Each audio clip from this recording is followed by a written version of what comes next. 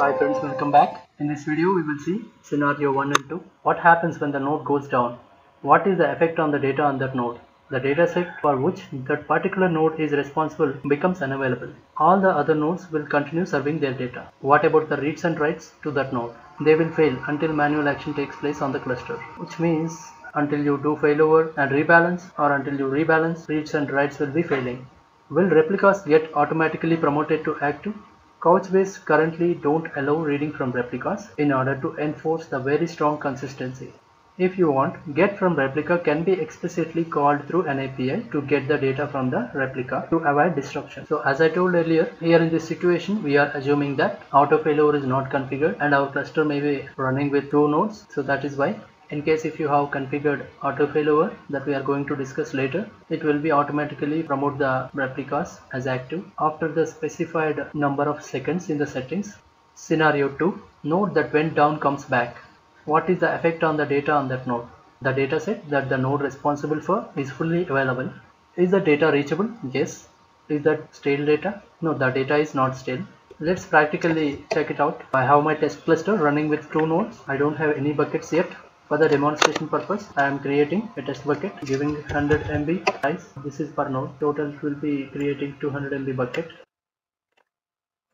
I'm enabling replica one, enabling flush as well. Bucket is created. Right now, my cluster is running with only two nodes and auto failover also not enabled. Let's go to documents. You can ignore this warning because there is no index available on the test bucket. It is always good to create an index on an empty bucket rather than creating an index on the bucket with some data. It will take some time for building that index.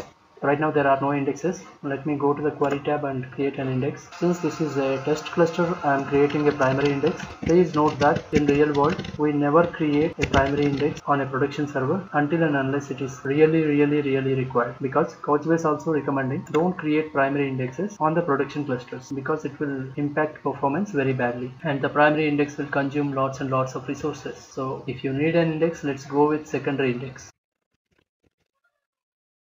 I'm executing this.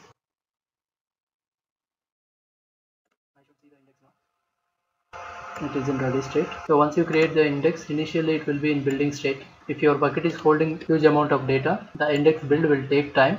Right now the index is in ready state, so we can use the index. Let me go to the buckets again. Documents. There are no documents. For the demonstration purpose, I am creating a few dummy documents. Add document. Doc one simply pasting the code. Doc2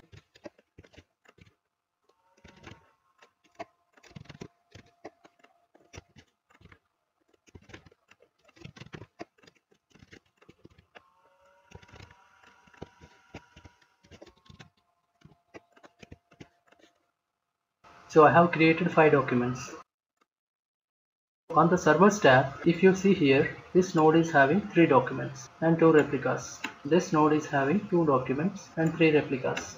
Now, I will bring down the second node and will see if I am able to access the data on that particular node. As per the scenario 1, I should not access 2 documents when this node is down. Let's see that. Before bringing this down, let me query the data. Now, I can see the data for doc1 doc2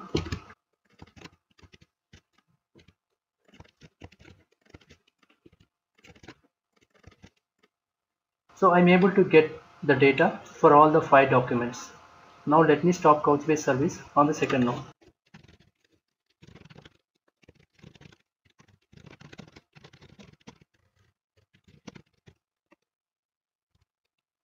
so the node is down now. Let's try to query data now I'm able to get the data for doc1, doc2, doc3 I got error, unable to complete action, doc4 I'm able to get, doc5 also I'm getting error, unable to complete action. So I'm not able to access two documents. So that is the scenario because this node is responsible for the two documents. Now, scenario 2. Note that when down comes back. The dataset that the node responsible for is fully available. Let's bring up that node and see if we are able to access the two documents that we are not able to now.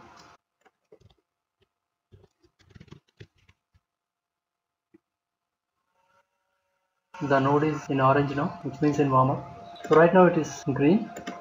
Let's query all the five documents now and see. Now doc5 I'm able to access. Doc4 also good. Doc3 also good. So now I'm able to access all the data. So that's all about scenario 1 and 2. See you in the next lecture. Thank you.